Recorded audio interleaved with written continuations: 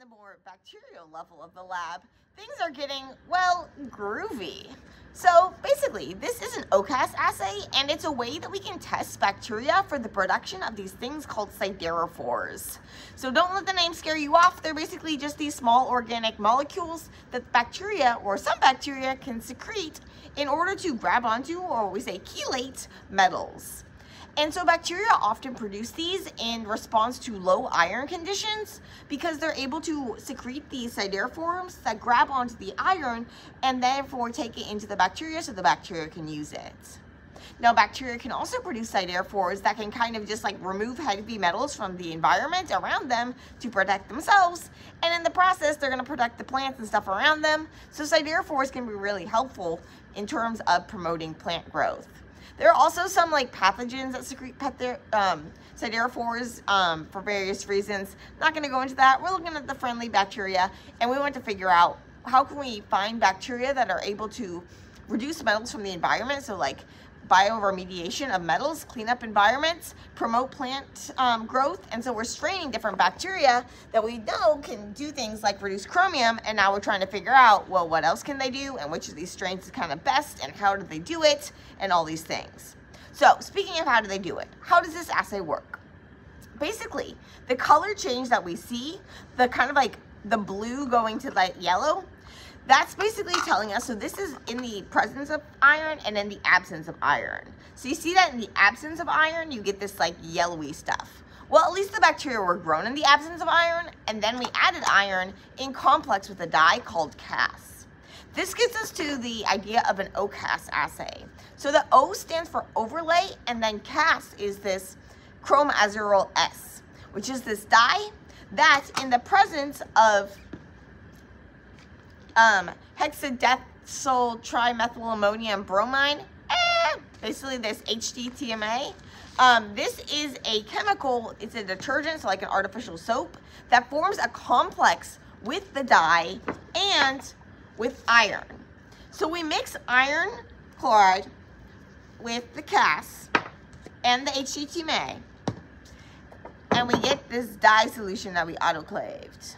So basically, you get that complex of the dye, of the of the iron and of this HDTMA. And that looks the blue. So if you actually just look at the dye, the CAS dye itself, it's not gonna look blue.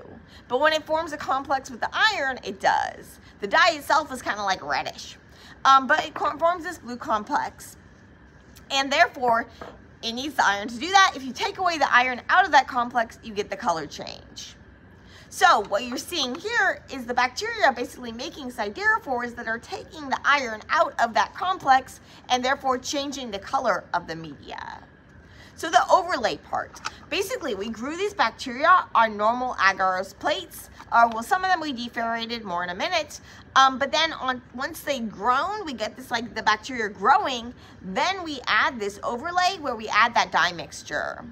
In order to kind of get it to like solidify and be a gel and stuff and be the right pH, we used a combination of PIPES, which is a pH buffer um, and in a solution and put some agarose in it. So basically you have this kind of like when you're writing a PCR, you have that gel. We have a sort of gel here.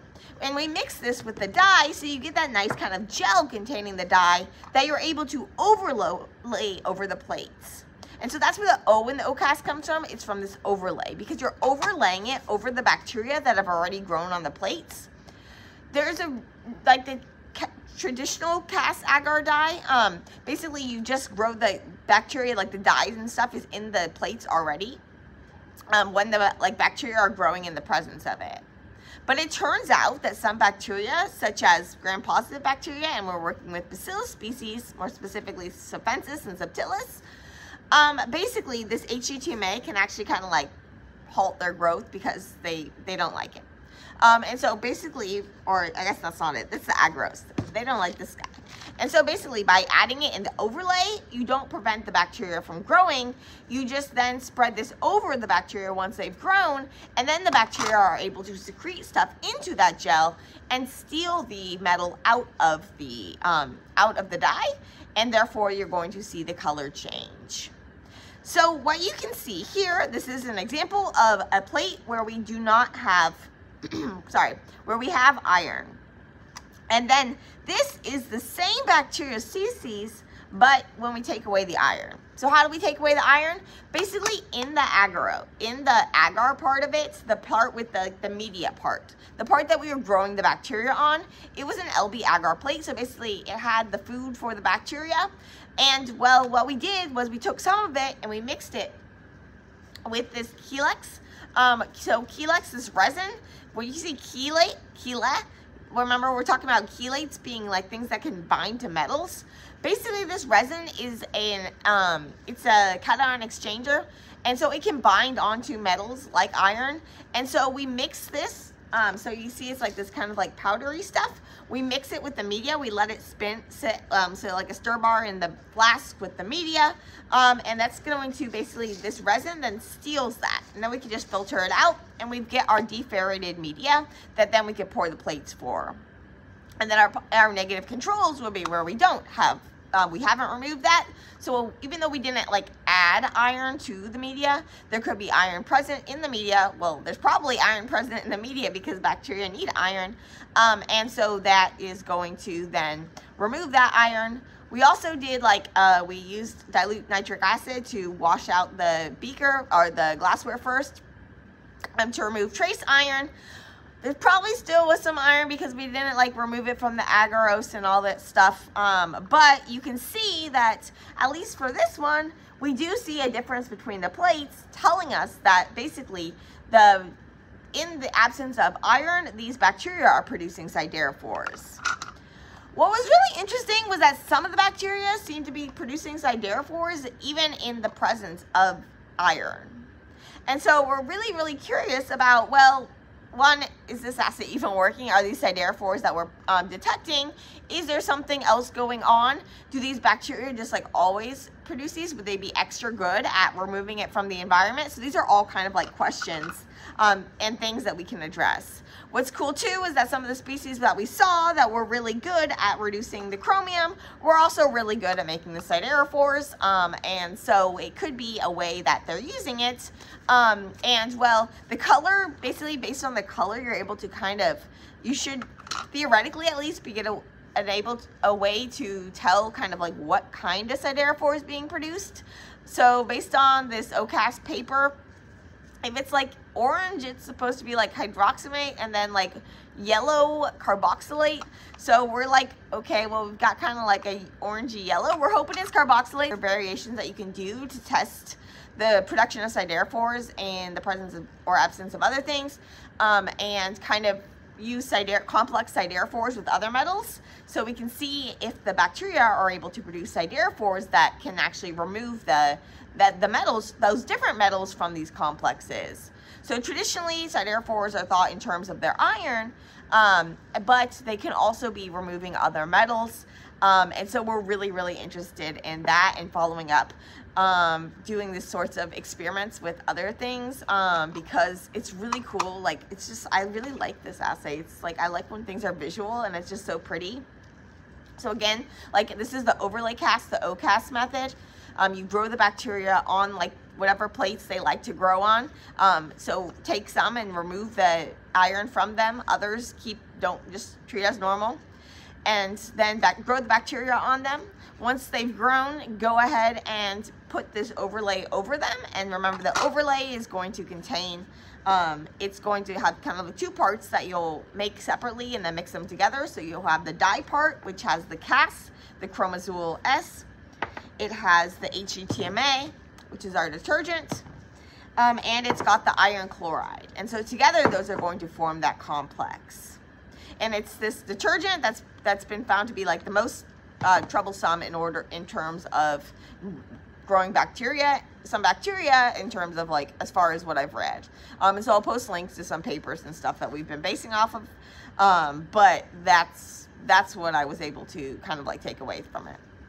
You mix that dye with a solution of agarose and um, PIPES. So this pH buffer at like pH 6.8.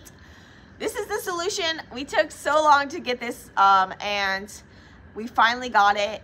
and then the bottle broke and it was so sad. But basically the PIPES isn't gonna dissolve unless you have it to a higher pH and so you kind of have to be like in this balance between adding NaOH and adding PIPES because as the PIPES dissolves, it's going to lower the pH, but it won't dissolve until you're at a higher pH, but then you don't want to overshoot the pH. So you start with like pellets of, P of NaOH and then you add liquid and yeah. So it's a long process. And then the bottle broke in the um, heat warmer after. So we took it out of the autoclave and we put it in the water bath to let it cool down to like 50 degrees. And the whole bottom of the bottle fell off. It was it was awful. But anyway, we remade it. All was good. We mixed it with our dye. We put that over the plates. So here we're using these like split, these like divided plates so that we could do two bacteria on one. Um, I'm a little worried there might be some spillover between a couple of them. Um, but basically, then we put five mils per side because the paper said to put like 10 mils, but we had like half. Um, but basically, yeah, so you just put it over the bacteria, and then if the bacteria produce the siderophores, they secrete them out. Um, the color of the media changes. So they said after like 15 minutes, we saw much more dramatic effects if we waited longer. So we just like stuck them back in the incubator overnight, um, and the effects were amplified. Um, and yeah, so hopefully we're doing everything right. This is our first time doing it, uh, but we're just excited by the results. We like the groovy colors. And yeah, so this is the overlay version. There's also just put it in the, put like you make the CAS in the dye in the media that the bacteria grow on, but that can prevent the growth of some things. There are variations I've seen where you, instead of HDTMA, you use a different detergent. Um, there are also liquid versions, um, as well as further tests that you can do to try to chemically characterize the type of siderophore that's being produced. So we're hopefully, um, my other research student, Nicholas, so Rory's been doing this great work. Um, Nicholas is, we're going to look at some like actual metabolites. So see whether various carboxylic, um, carboxylates are being secreted um, and made inside the cell and try to connect it all to malate dehydrogenase. So we have some good hints, including from this assay, um, that malate dehydrogenase might be involved. So stay tuned.